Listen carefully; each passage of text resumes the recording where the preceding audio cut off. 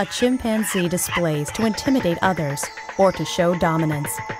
These displays improve and secure his rank in the community.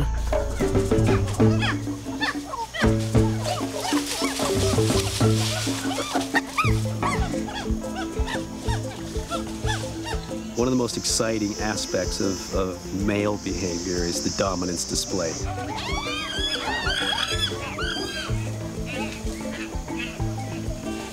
And that is a direct charge.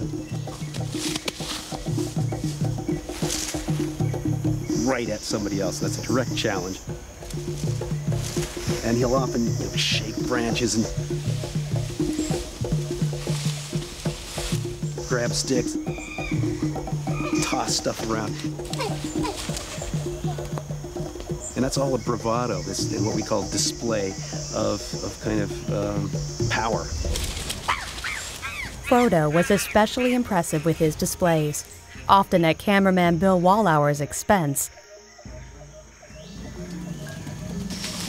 You'd just be on a nice peaceful follow with Fifi walking through the forest, and the next thing you know, you're flat on your back, you know, kind of with your head wrapped around a tree because Frodo would come by and just get a forearm shiver and knock you into the, uh, you know, off a bank or something.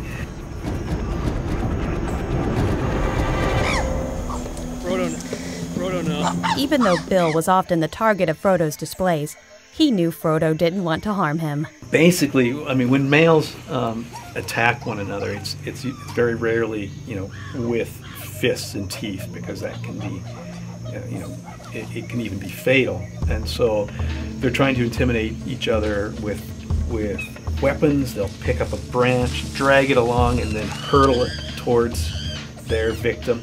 And um, so it can it's very intimidating, having been displayed at by Frodo.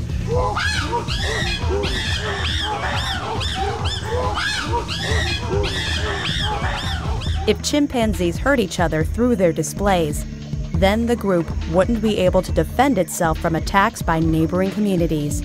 And for chimps, the survival of the group is what's most important.